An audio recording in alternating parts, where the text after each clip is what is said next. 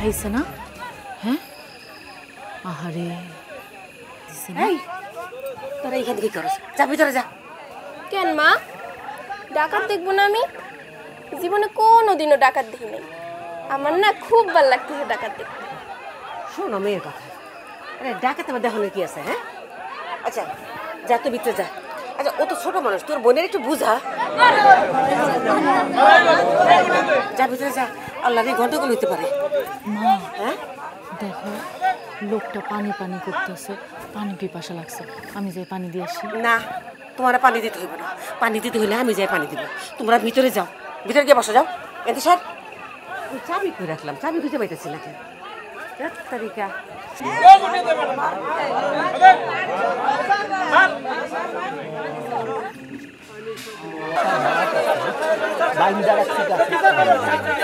চুপ যাও।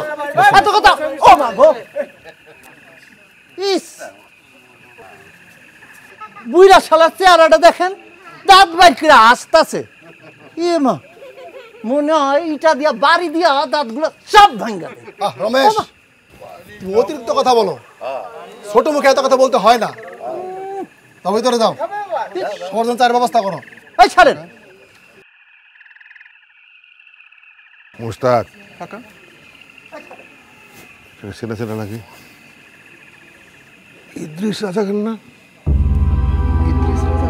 সেরকমই তো ঠেকে সেরকমই তো ঠেকে এই এই দাঁড়া দাঁড়া কি দেখো এই কি দেখো দাঁড়া দাঁড়া যাও পুলিশে খবর দাও এই মুস্তাক তুমি তো এই দুই কলম লেখাপড়া শিখে দিয়ে একেবারে পণ্ডিত হয়ে গেছেও দেখতেছি হ্যাঁ পুলিশে খবর দিলে কি হবে এটা আমরা ভালো করেই জানি পুলিশ আসবে এদের ধরে নিয়ে যাবে টাকা খাবে ছেড়ে দিবে তার মানে যেই লাও সেই কদু কি করতে বলো? খুনের বদলে খুন। ওরা আমাকে মানুষ মারছে আমরা এই সব করার মারবো। তারপরে এলাকাবাসী বলবে যে গণপিটুনি দিয়ে মেরে ফেলাইছে। আস্তে আস্তে আস্তে। কি বলো এসব হ্যাঁ? দেশে আইন কানুন নাই। তুমি কি করতেছো টাকা আছে। সেটাই কও। আপনারা শোনেন সবাই আমাদের এই জায়গায় স্যার আসছে এই স্যার যা বলবে আমরা তাই করব। নাকি? স্যার সঠিক বিচারই করবে। আসেন আসেন। বাবা গো বাবা সরো। বাবা ই। এই এই পানি খাও। রাইতে কি লোকজন খাইবো? আমি কি চুলা জ্বালামু? এত মানুষের ভাত রাইন্দা পোষণ যাইব না। স্যার তুমি রান্না বসায় দাও। দেখে তো মনে হয় রাইতে কেউ খাই আসে নাই। এই রমেশ দে এই কয়জন খাইবো একটু গুনে জানাইস। আচ্ছা। ওইছে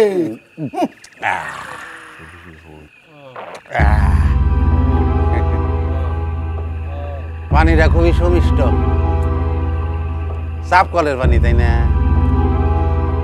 ও ভাই কালা যান আপনাকে এই গ্রামের নাম কি? হ্যাঁ? এই এলাকায় না কোনোদিন আসি নাই মারামারি বহুত আসো কথায় কথায় মিথ্যা কথা কয় এই যে গত কয়েকদিন আগে ডাকাতি হইল মানুষ মরলো এগুলা কারা করছে হেরা নাকি এই এলাকায় নতুন আসছে মানুষ মরছে কজন মরছে কবে মরছে হ্যাঁ দেখছেন না অভিনয়টা তো ভালোই জানো। তুমি ইদ্রিস রাজাকার না? হ্যাঁ জনাব। আমি রাজাকার ছিলাম। একাত্তর সালে গন্ডগোলের সময় আমি রাজাকার ছিলাম।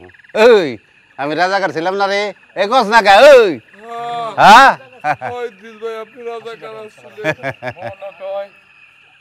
কিন্তু কেন রাজাকারী ছিলাম? এই কাহিনীটা শুনবেন। শুনতে চাইলে আমি বলতে পারি হ্যাঁ বলো শুনি শুনি কিন্তু সে তো শুধু রাজাকার ছিল না ছিল রাজাকার কমান্ডার আর ধরো আমি কি ইচ্ছে করে কমান্ডার হয়েছিলাম নাকি আমরা জোর করে কমান্ডার বানাইছিল আর পাকা আর্মিগুলো কোনো কথাবার্তা কওয়া যায় হ্যাঁ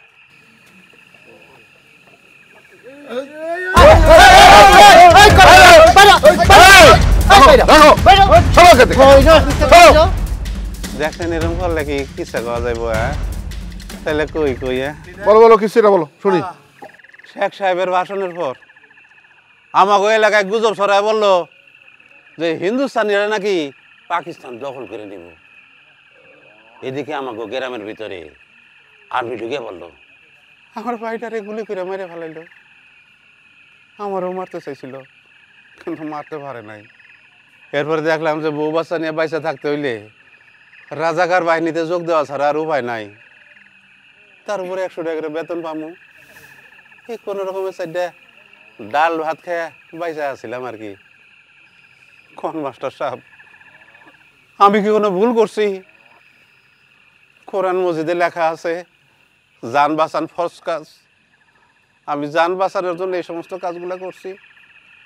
আর জীবনে যা কিছু ভুল ত্রুটি, ছোটোখাটো অন্যায় করছি, তার জন্য আমি তওবা করছি। মহান আল্লাহ দয়ালু তিনি নিশ্চয়ই আমার ক্ষমা করবেন।